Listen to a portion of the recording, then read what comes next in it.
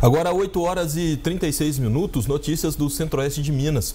O Ministério Público, a Polícia Civil e Militar de Minas Gerais deflagrou uma operação que visa o combate a furtos e desmanche de veículos, além do tráfico de drogas. A operação Interface aconteceu em três cidades aqui da região. Durante a operação foram apreendidos documentos, além de drogas, armas, munições, aparelhos para bloquear o sinal de rastreadores de veículos e balanças de precisão. De acordo com o Ministério Público, o alvo das investigações é uma quadrilha envolvida em vários crimes. Primeiro era furto, roubo e receptação de veículos. E aí nós no decorrer das investigações, percebemos que realmente essa é uma formação de quadrilha especializada no furto de veículos para desmanche e com a obtenção da, do valor proveniente desse desmanche, inclusive injetar no tráfico de drogas. A operação Interface contou com a participação do Ministério Público e das polícias militar e civil. Foram cumpridos 18 mandados de busca e apreensão.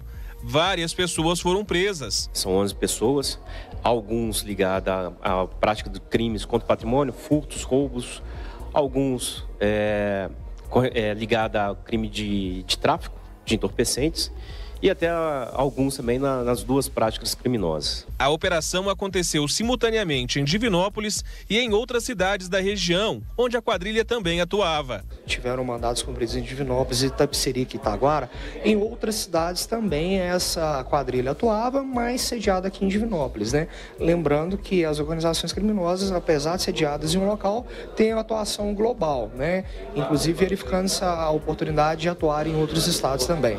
Segundo o MP, MP, as investigações começaram há 11 meses, depois de um aumento significativo no número de furtos e roubos de veículos. As investigações comprovaram o envolvimento da quadrilha no furto de diversos veículos, principalmente aqui em Divinópolis e no centro-oeste do estado e também na região metropolitana de Belo Horizonte. Na maioria dos casos, os criminosos adulteravam as placas dos carros, que depois eram revendidos, e o dinheiro usado para financiar o tráfico de drogas. Ao longo das investigações, vários membros da quadrilha foram presos com drogas e veículos roubados. Já conseguimos apreender 20 quilos de maconha, já conseguimos 120 papelotes de cocaína, conseguimos também recapturar cinco é, foragidos da justiça, conseguimos. É, recuperar é, oito carros produtos de furto, sendo que três deles eram clonados, dentre outros materiais apreendidos também envolvendo ilícitos. Com os suspeitos, a polícia encontrou este dispositivo usado nos crimes. A pessoa, dono do veículo, né, que era de interesse deles,